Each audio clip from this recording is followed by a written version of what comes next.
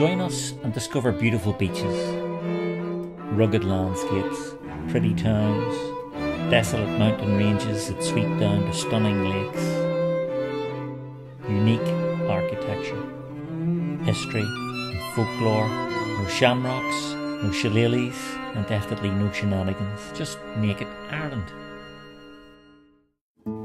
Here we are at ferry terminal number one in Dublin Port, and this is where you would get your ferry through Irish ferries to travel to Cherbourg in France. You can also sail to Holyhead from here. You can see the WB Yeats label hanging from my mirror as I sit on the queue to board.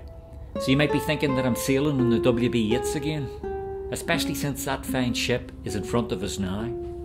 You may also remember that I made a very favourable video praising Irish ferries on their service between Cherbourg and Dublin on the WB Yeats a few months back. I'm afraid I'll have to take it all back. Please stay tuned to find out why. So I'm back travelling with them again, but alas, apparently not on the WB Yeats, but on this boat that you can just see in the distance, which you may notice has the P&O markings on the side. So why, if I booked Irish ferries, specifically because I enjoyed the crossing on the WB Yeats, would I be sailing on a P&O ship? Good question. It appears the two companies are one and the same, and the least said about P&O's recent employment relations scandal, the better. Okay, so it looks like we're finally boarding, but we were originally supposed to sail at 6.30. It's now exactly 9.05 and we're only starting to board. Remember, we should have sailed over two and a half hours ago.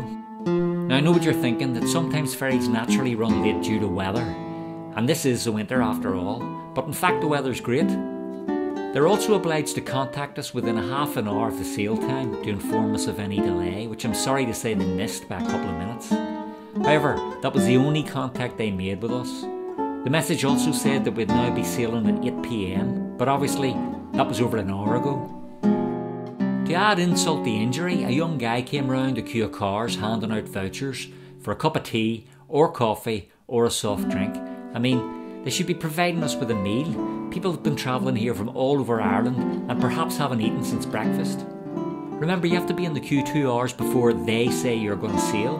The last thing we need is a three hour delay on top of a two hour wait. Cynically, the next day they invited us up to the cafe for some chips right at the end of our voyage. After we'd spent a fortune in their restaurant, instead of offering us something on boarding when we really needed it.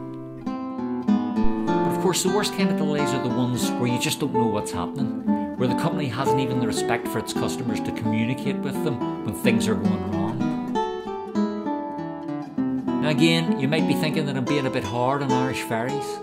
But what if I told you that on my way to Ireland from France just three weeks ago, exactly the same thing happened? You make up your own mind if you think this is a good way to do business.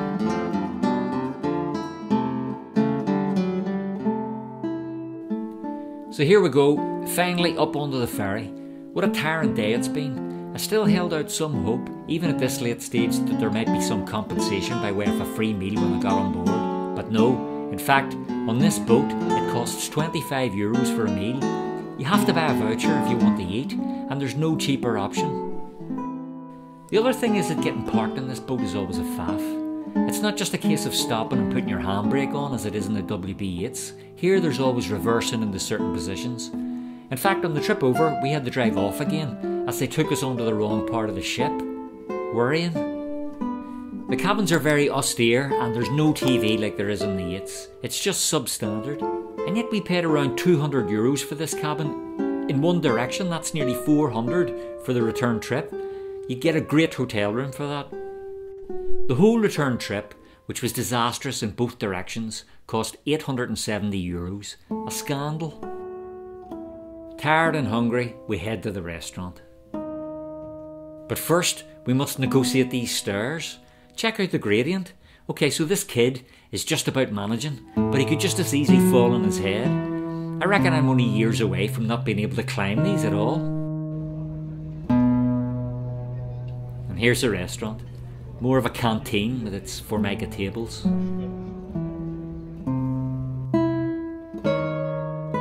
And we started the sail, finally three hours late. There's a small bar, not like the various lounge areas that you have in the WB Yeats. And then we see the reception with no one man on it. I wouldn't want to face customers if I were them either. Breakfast the next morning was 20 euros per person, which is more expensive than you'd pay in a very good hotel. There was plenty of it, but it was nothing special. Cheap orange juice in a plastic cup, and this unedible pain au chocolat. Probably the worst I've tasted.